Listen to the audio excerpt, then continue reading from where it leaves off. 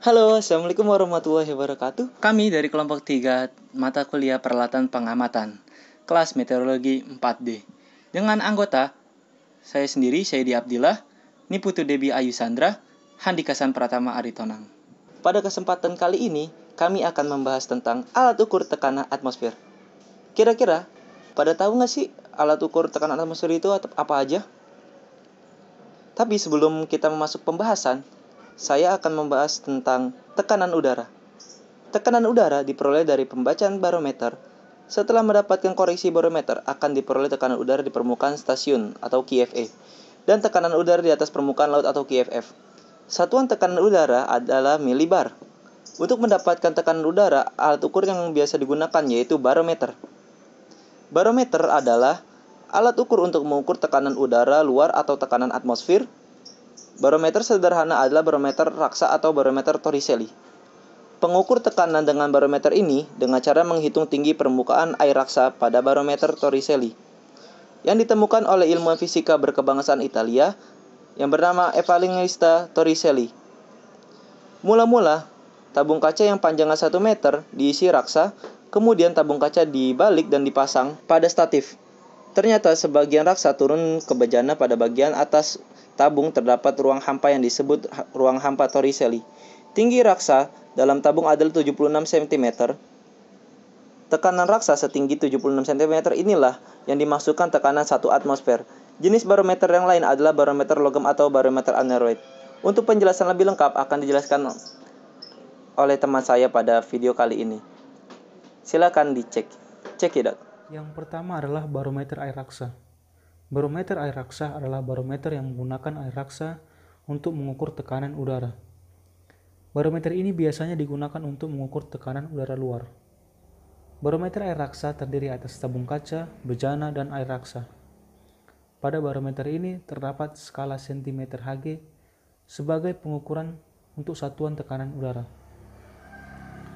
Barometer yang digunakan Torricelli dalam percobaan adalah menggunakan barometer air raksa. Selain barometer air raksa seperti yang digunakan Torricelli, ada barometer jenis lainnya, yaitu barometer sipon. Barometer sipon terdiri atas bejana berhubungan U yang salah satu kaki panjangnya tertutup dan salah satu kaki yang lainnya yaitu kaki pendek yang terbuka. Selain diisi dengan air raksa, ketika terjadi peningkatan tekanan udara, permukaan air raksa pada kaki bejana yang lebih panjang mengalami kenaikan. Jika tekanan udara turun, maka permukaan air raksa pada bejana berkaki pendek akan naik dan permukaan air raksa pada bejana berkaki panjang akan turun.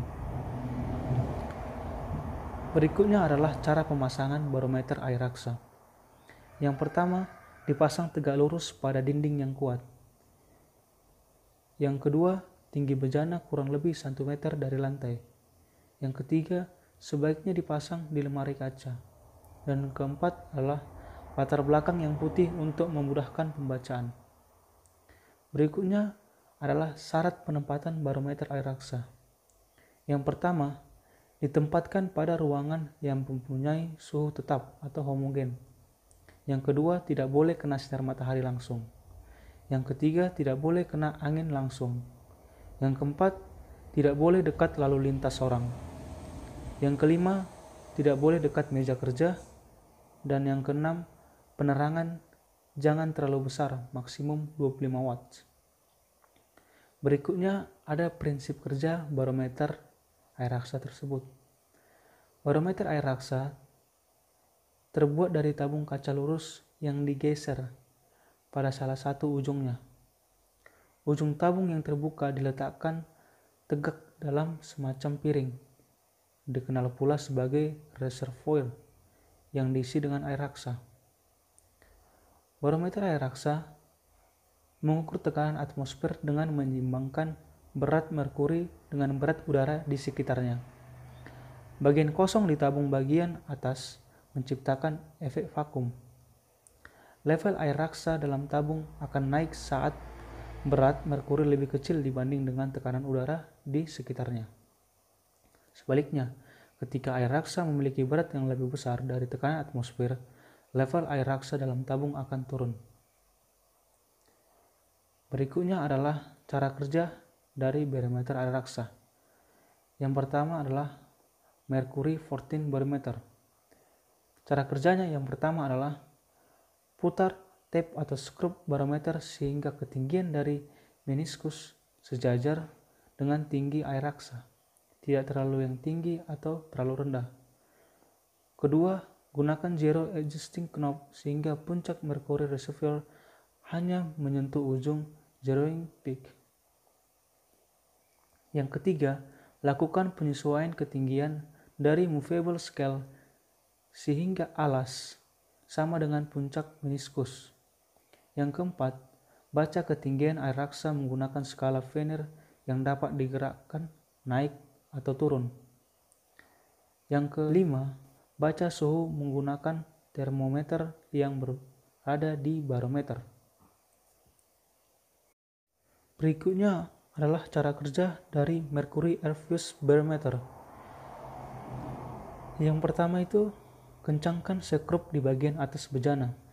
Yang kedua, balikkan pelan-pelan sehingga bejana di atas. Yang ketiga, letakkan ujungnya di lantai dan pegang tegak lurus. Yang keempat, putar sekrup bawah bejana pelan-pelan sampai ada air raksa yang jatuh. Yang kelima, ganti dengan sekrup transport.